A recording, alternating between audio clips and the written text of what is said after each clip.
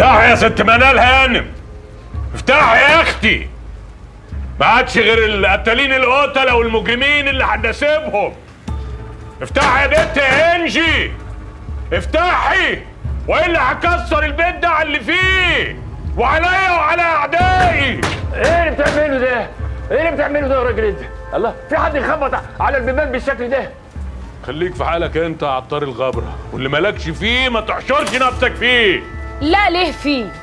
عشان الراجل ده يبقى في مقام ابويا طب اشبعوا ببعض يا أختي أنتوا وهو يا أختي تولعوا بجاز أسود في وقت واحد. أنا ليا بنتي اللي بتحصاني وبتدي في كلامي.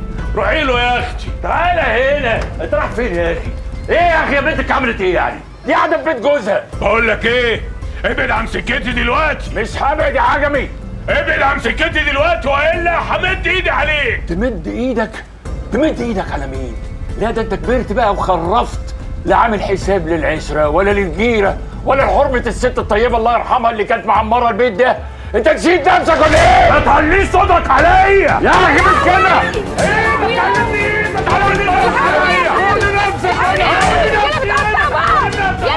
بس يا جماعة بس يا جماعة صلوا على النبي. صلوا على النبي. زودتوا عليكم الناس. مالكوش فيه. أنا جاي أخد بنتي هو ماله. واللي جاي ياخد بنتي ياخدها بالشكل ده يا أخي. ما تحضرونا يا ناس بس بقى يابا بس بس حرام عليك كفايه فرقت علينا الناس هي مش عايزة تيجي معاك. وبعدين مش عيب عليك تبقى راجل كبير كده والمفروض إن أنت عارف ربنا. وتروح تجيب لبنتك عريس وهي على ذمة راجل تاني. بقول لك إيه؟ خليك أنت على جنب دلوقتي. أحسن امد إيدي عليك. أنا لا طايقك ولا طايق أخوك ولا أي حد من ريحتكم ريحة؟ ريحة مين يا أبو ريحة؟ لكن اقسم بالله وديني وما اعبد. لو غلطت فيا أنا مش هسكت لك. هتعملي إيه يا بنت ماجده البقالة؟ بس بقى يابا بس كفاية حرام عليك كفاية. انت اللي كفاية. ويكفي تكون اتعظت بقى. وعرفت ان الجوازة دي لا تناسبنا ولا إحنا نناسبها. إيه على آخر الزمن هنناسب مجرمين وبتعصيني في الآخر وتسيب البيت. بقول لك يا عجمي اهدى كده اهدى وتعالى نتكلم تحت. بلاش نتكلم هنا. تعالى نتكلم. أنا مفيش تحت ولا في أي حتة.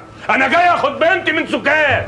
ما حدش كلمني في حاجة. وأنا مش هسيب البيت ده. أنا هفضل قاعدة هنا. هفضل قاعدة هنا ومستنية جوزي مستنياه فين يا أختي؟ مستنياه لما يخلص التأبيدة ولا الإعدام؟ هيرجع. هيرجع علشان هو مظلوم. وأنا ست بقى وعلى ذمة راجل. إيه رأيك بقى؟ ولو مديت إيدك عليا تاني هولع في نفسي هنا دلوقتي. بقيتي إيه يا بت بقيتي ست.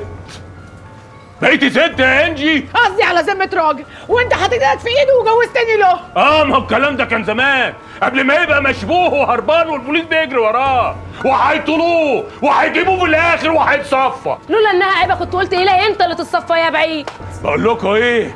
أنا دماغي مطبلة وبزيادة ومش هتطبل أكتر من كده. أنا ممكن أصور قتيل هنا دلوقتي حالا. أنت إيه يا أخي؟ أنت إيه؟ أنت فرجت الناس عليك وعلى بنتك اتقي الله. بقول لك يا بنتي. يلا انزلي روحي مع أبوكي دلوقتي. روحي روحي معاه كفايه بقى مشاكل. يلا. هو ده كلام العقل والناس المتزنة والموزونة مش كلام الناس اللي بتخرف. انت هتعيب تاني. يلا يا بنتي. يلا انزلي روحي علشان اليوم ده يعدي على خير. أرجوكي. أنا مش رايحة في حتة. أنا قاعدة هنا في بيت جوزي. بقول لك يا عجمي؟ أنت تسيبها قاعدة مع البنايه يومين ثلاثة وكده كده محارب مش موجود. استهدى كده بالله واتقي الله وتعالى نقعد نتكلم تحت على القهوة. تعالى. اوعى أنا لا رايح قهوة ولا رايح في نيلة. وقسما عظما. لو ما رجعت البيت النهارده أنت عارفة هيحصل لك إيه. بس يا أخوي. بس بس يا أخوي. يا بنتي الدنيا مش مستاهلة. انت تقعدي معاها يومين ثلاثة كده وبعدين وبعدين تروحي. أنا عارف أنا عارف إنك مش موافق على كل اللي بيقوله. بس نعمل إيه؟ أبوكي. ده أبوكي. يلا هقول لك إيه؟ ربنا يصلح الحال. يلا يا جماعة. يلا يا جماعة كل واحد يروح لحاله. اتفضلوا. اتفضلوا يا ناس.